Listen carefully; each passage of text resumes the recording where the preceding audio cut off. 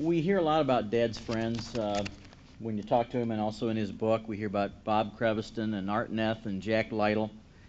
And he has a story that fills out the picture a little more, and it's called Some of My Best Friends Were Dogs. So we'd like to share that with you now.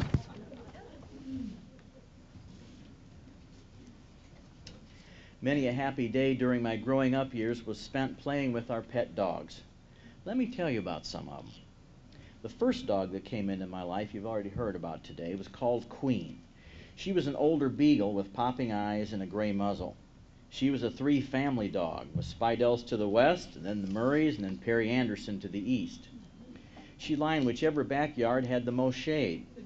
Unfortunately, she got prime table scraps from both sides, and she became too fat to run rabbits very well. But Perry Anderson would come out of his back door and give a melodious whistle reserved just for Queen. If she was in our house, she'd be frantic until we let her out. Then off she'd go with Perry to Baxter's Woods. Perry would harvest his night crawlers and green moss for his dew worms, while Queen sniffed for rabbits. They'd return in a couple of hours, and both had their tongues hanging out. Queen died one morning while I was in school, and when I came home at noon, I was devastated to have lost my dear old friend. But Perry was equally as devastated, and he missed her as much as I did. My dad also missed having a beagle around the house. He liked to take them out and listen to them bell as they would chase a rabbit. I think I was about 10 years old at around this time because in 1935 was when MacKinlay Kantor published the book The Voice of Bugle Ann. I got it from the library and I read it and I had Dad read it too. The book was about a foxhound named Bugle Ann with a beautiful belling voice. And a foxhound actually looks a lot like an oversized beagle, standing about 20 inches at the shoulder, but the largest beagle only reaches about 15 inches or less in height. Well, that book stoked my dad's fire. and so, one Sunday, found my dad, mom, and me on our way to Cincinnati to a sporting dog show. The highways were very icy, and when we got to Piqua, about 40 miles from Lima, mom wanted to turn around and go home. But dad persisted, and we drove the 120 miles to the dog show. There we saw a perky little beagle who was such a friendly little dog, and he won his class in the show, though not best of breed for the beagles. Dad went over and talked to the owner who had several dogs in the show. The dog that we like was American Kennel Club registered under the name of Warcry II. He'd won several field trials and several bench shows, but his owner thought that he was a little temperamental and he wasn't good enough to become a field trial champion, which is what he really wanted. So Dad got the owner's name and address and phone number and the asking price for this little gem of a dog. All the way back to Lima, all Dad and I could talk about was this wonderful little dog. Mom said he was nice, but she didn't know if we could afford $35 for a dog. In 1935, that was a chunk. But Dad pestered Mom long enough till she gave in. He wrote the owner, sent him a check, and the owner sent us our dream dog by Railway Express. What a joy it was when I came home from school one day and there he was, American Kennel Club papers and all, War Cry the Second. His name was indeed War Cry the Second, but his owner explained to us after we bought him that he would actually only answer to the name Ace. Well, things things went pretty well with our dog Ace until one winter's day when my mom came my mom came home from the store she came in the side door, set her bags of groceries down on the floor, went to the front door, and got the evening's newspaper. She took off her coat and stood over a hot air register to get warm while she read the obituary columns. Suddenly, she became aware of the sound of paper rustling. She went to check her bag of groceries, and there she witnessed Ace just finishing off a pound of bacon. She let out a whoop, picked up the newspaper, and chased that poor dog from the kitchen to the dining room to the living room, then back to the kitchen, swatting him all the time with the newspaper. The poor dog got so upset that he vomited his bacon out on the carpet. then I had to rescue him and take him out to his kennel. Mom wouldn't even let him back in the house for a week. But they finally made up.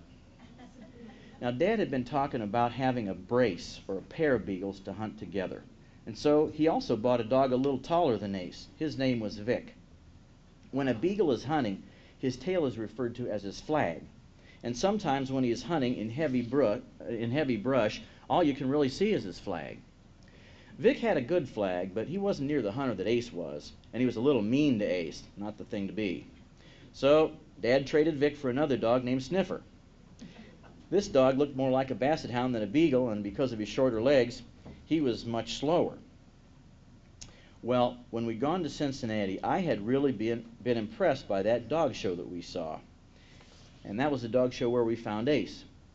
Well, one day I saw an article in the newspaper that there was going to be a sporting dog show on Labor Day over in Dunkirk at the Leafy Oaks Coon Dog Field Trials. Colonel Leon Robinson was, sporting, uh, was sponsoring the show, it said. I thought I'd write and get the details and maybe even enter ourselves. I prevailed upon Mom and Dad to let me enter Ace in the show. I sent in his registration and the entry fees, but I only had about a month to work with Ace. I trotted him on his leash and I taught him to stand still on the bench and hold up his tail, not to flinch when the judge would lift his lips to check his teeth. While I was working with Ace, my older brother Marvin would smirk and he'd give me reason after reason why I was wasting my time. He said Ace's muzzle wasn't trim enough. So I took Dad's barber scissors and I cut Ace's whiskers flush. Well, the day came, and Mom, Dad, and I went to Dunkirk along with Ace to the dog show. I won't drag it out, but suffice it to say that Ace won Best of Class, Best of Breed, and he went on to win Best of Show. When we got home, my formerly scornful brother opined that he'd given me the right pointers to produce a show winner. This was heady stuff for an 11 year old kid. And I like these dog shows, and the next spring I read about another big sporting dog show to be held in Ravenna, Ohio in the early summer. It was to be held in the middle of the week, though, and Dad had to work, but I did successfully prevail upon Mom to take me and Ace to the show. It was about a 100 miles away, and we got there in time, but I found out that most of the men and women showing dogs were professionals and they made their living doing this. Well, Ace and I therefore became the sentimental favorites of the crowd.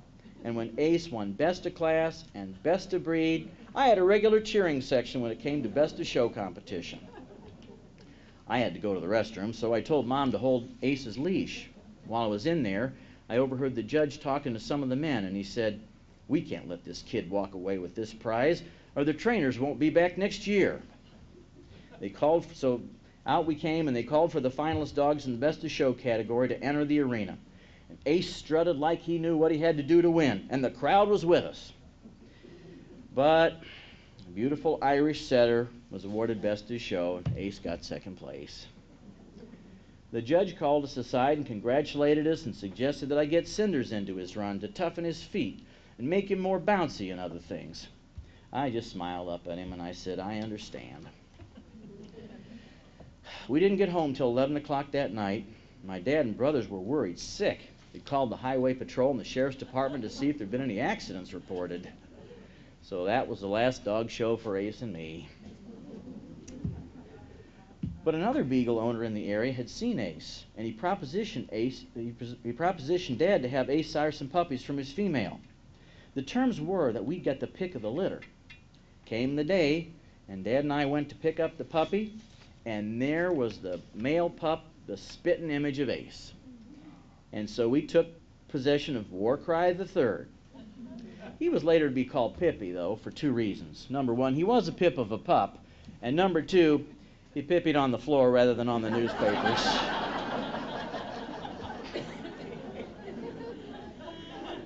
when Pippy came, we sold Sniffer, and so we just had two dogs, father and son. Since we had to concern ourselves with Pippy's education and make him able to hunt, Dad helped me to make a lightweight trailer mounted on bicycle wheels, and I could pull this easily behind my bike. I would load the two dogs into their trailer and fasten it to my bike, and off we'd go out to Robb Avenue and then on farther west about a quarter of a mile. And there we'd find a lane that had been worn into the ground by ruts, and we'd go on back into the woods and brambles. I think this area years later was developed and became Englewood Estates. Ace was the teacher and Pippy was the pupil, and together they made beautiful music trailing rabbits. The next November, when hunting season was just a week off, I began making plans to get out of school on opening day so I could go hunting with my dad and brothers. I'd acquired a new Ithaca Featherlight 20 gauge pump shotgun, and I was most anxious to try it out. School principal said I could not be let out until noon of opening day. But dad and my brother said they couldn't wait for me because they had to go about 50 miles where the, the pheasants were most plentiful. So they wouldn't wait for me at all. And so when I got out at noon, I just put my dogs in their trailer and slung my shotgun in its case over my shoulder, and we went off to our usual Robb Avenue training grounds. That afternoon, I got two cock pheasants and two rabbits, and I put my dogs in their trailer, and we went triumphantly home. About three hours later, my dad and brothers returned, and they'd been skunked. That's what they get for not waiting for me. I didn't let them forget my prowess for quite a while. When my folks moved out to their new house and farm on Stewart Road, Pippy wasn't used to the speeding vehicles on the country road, and he got hit by a car we took him to one of the to one of my childhood heroes, Dr. Joseph Morris, our veterinarian. Turned out that Pippy was uh, lucky, and he only had a lower spinal injury. However, this resulted in a paralyzed tail, and from then on, whenever he'd hunt, we could never see his flag. I'd gone to college in 1943, and one day I got a letter from Mom telling me that Ace had died, and Dad had buried him under a beautiful big elm tree in our pasture about 100 yards from the barn. The next time I went home, I went up to the barn to help out, and I saw Pippy sitting beside Ace's grave. We called him, and he trotted very slowly to us. And all the while, he kept looking back at his father's grave. Back in college, I was called to active Army duty in a flurry of travel. I had basic training in Texas and X ray technology school in Atlanta, and then after a 10 day furlough home, I uh, got to visit mom, dad, and Pippy. I returned to Texas and was assigned to the 241st General Hospital. They moved me by train to Camp Kilmer, New Jersey, which was a staging area for going to Europe. I ended up in France, and while I was in France, I got word from Mom that Pippy had died, and Dad had buried him beside Ace, his father. And so, my friends, very sadly, the dog days of my youth came to their close.